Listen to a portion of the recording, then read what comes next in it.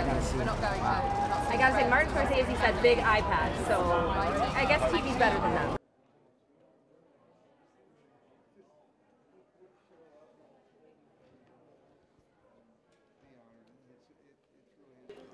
Well, you know, it's I've, I've got a lot of BMI awards, fortunately, on my walls over the years. I've been here at, at uh, the awards banquet uh, several different times and been able to accept in person, and it's always meant a great deal to me.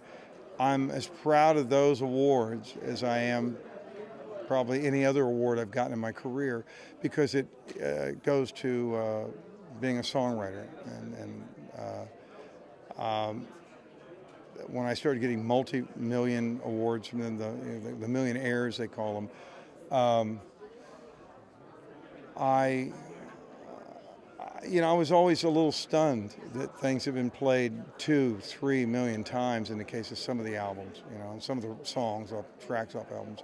So tonight, this is kind of a, a culmination of the 34 years of, of, receiving those individual awards, and this is uh, when they called me about it uh, late summer and asked if I was willing to come and do nothing. I said, that sounds like a good job, do nothing and, and be applauded. And, I, and I'm very flattered that BMI would honor me with this.